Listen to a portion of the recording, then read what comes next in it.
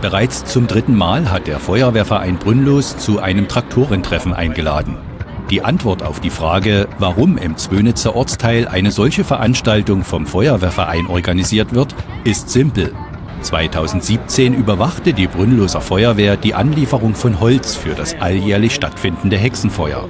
Dabei fiel den Feuerwehrleuten vor Ort die Vielzahl der unterschiedlichsten Fahrzeuge auf, mit denen die Brünnloser so unterwegs waren. Da wurde die Idee und der Gedanke bei der Freiwilligen Feuerwehr Brünnlos geboren, man müsste einmal all diese Fahrzeuge auf einem Platz versammeln und in einer öffentlichen Schau präsentieren. Von 2017 bis zum heutigen Tag. Was hat sich in Bezug auf diese Veranstaltung verändert? Seither getan hat sich, dass wir jetzt mehr äh, Traktoristen aus anderen Orten da haben, die mit ihrer Technik hier aufgefahren sind. Erst waren wir nur reine Brünnloser-Veranstaltung, das hat sich aber jetzt mehr rumgesprochen und jetzt ist es, das, das Feld sehr, sehr ja, unterschiedlich aufgestellt, viele verschiedene Maschinen und man trifft sich halt zu Gesprächen. Ich muss sagen, es ist eigentlich ein schönes Treffen, zwanglos, ohne kompletten Ablauf, außer die Ausfahrt dann. Also ich muss sagen, es hat sich gesteigert hier die Sache, die ganze Sache. Es, geht, es macht Spaß. Und Spaß hatten auch die jüngsten Besucher, denn auch sie kamen nicht ohne ihren fahrbaren Untersatz zum Treffen.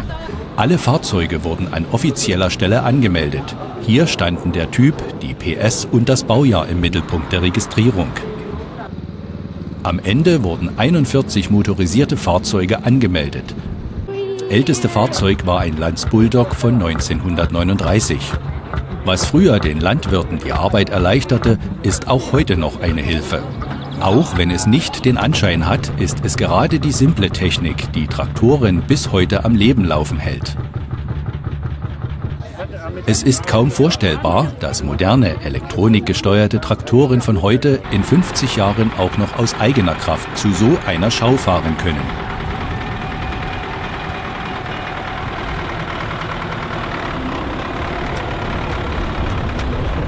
Das wurde in den Gesprächen der Teilnehmer immer wieder betont.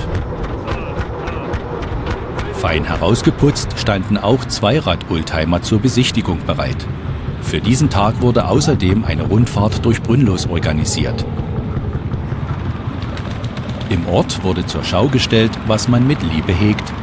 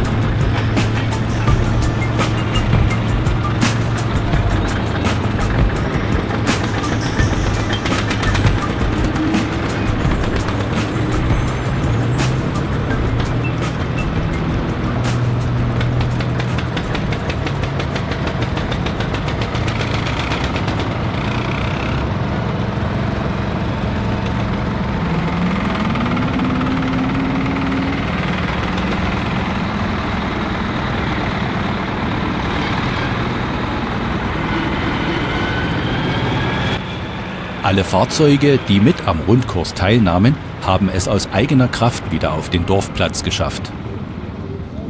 Dort angekommen wurde sich noch einmal positioniert. Nun gibt es ja das bekannte Sprichwort, aller guten Dinge sind drei. Wird es nach dem dritten Treffen eine Fortsetzung der Traktorenschau geben? Es wird wahrscheinlich 2021 das nächste Treffen geben. Wir werden das im Zweijahres-Rhythmus weitermachen. Jährlich wird uns zu viel mit der Veranstaltung gönnen wir den Organisatoren der Feuerwehr Brünnlos eine Pause, denn auch so ein Traktortreffen ist mit viel Aufwand und intensiver Freizeit verbunden.